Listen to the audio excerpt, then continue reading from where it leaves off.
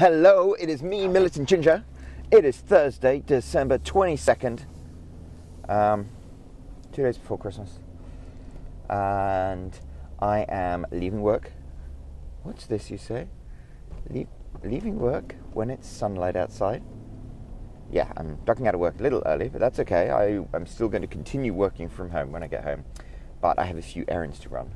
Uh, but it's kind of nice. So here I am making one of these videos when I'm not half asleep and late for work and driving hell for leather through the streets.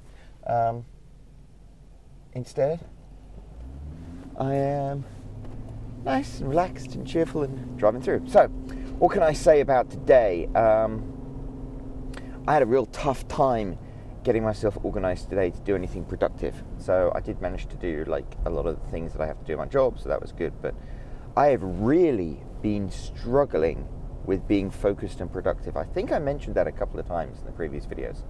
So one thing I've been thinking about. Okay, so my eldest kid has ADHD, which is attention deficit hyperactivity disorder. Um, so he has trouble com- uh, focusing and concentrating, and is always running around and has tons of energy.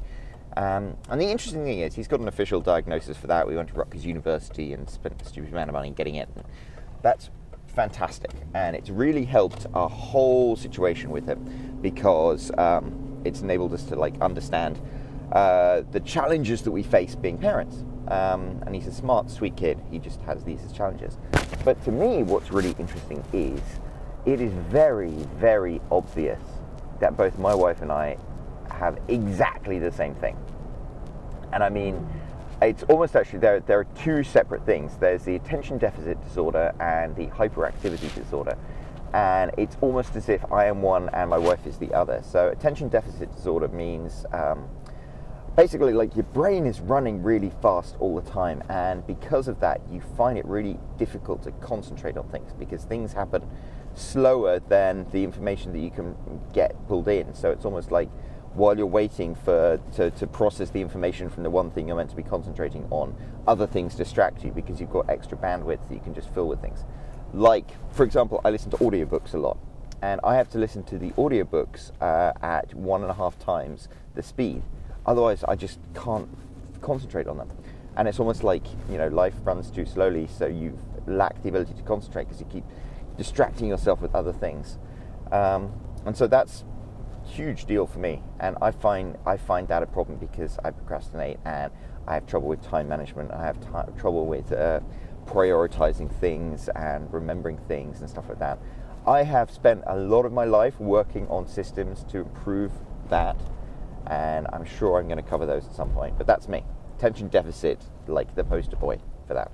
And my wife, hyperactivity disorder. Oh my god, that is exactly like her. She has a completely whacked out sleep schedule. She paces incessantly. She's got all sorts of like little ticks, like picking her nails and stuff like that. Um, and so she has hyperactivity disorder at the wazoo. And it's just interesting because both her and I come from that generation where uh, nobody like diagnosed us as having problems. They, that was just who we were. And it's interesting because, you know, we face the same issues that our son faces, except we never had any special treatment for it or anything like that. It was, you know, if uh, because I had attention deficit disorder, it was kind of like, yeah, he's just not concentrating. Needs to be shouted at, slapped on the back of the head. And my wife, you know, her hyperactivity disorder, oh, she's just badly behaved. She just, you know, it's fidgeter, can't concentrate. And it's it's just interesting. So those have been challenges that we faced. But what I find especially interesting is, okay, now I've got that like germ of diagnosis in my head is there something I can do about it? I mean, there are lots of things that we can do to mitigate my son's uh, problems with ADHD, but maybe there's something I can do to help me face some of the challenges that I continue to face in life. Um, that. So I've been doing a lot of reading about that, and I think I'll probably go to the doctor and see if I can get a diagnosis for myself. And there is medication you can take that can help.